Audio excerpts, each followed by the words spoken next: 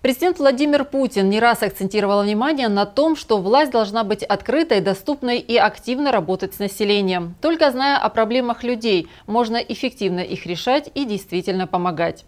Одним из важнейших инструментов конструктивного диалога населения и власти являются личные приемы главы муниципалитета и его заместителей, телефон горячей линии, обращение граждан, сходы жителей, деятельность общественной приемной. В Славянском районе такая обратная связь хорошо налажена.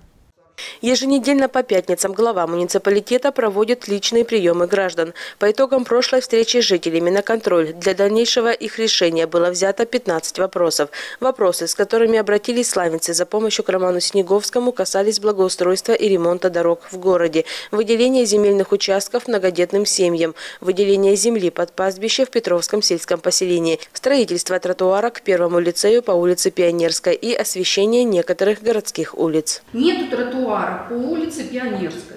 Пионерская, за школой. Ни с той стороны, ни с этой. Тротуары разбиты. И экономия, конечно, в свете. Фонари горят по проточной через один. По проточной тоже тротуар ужасный.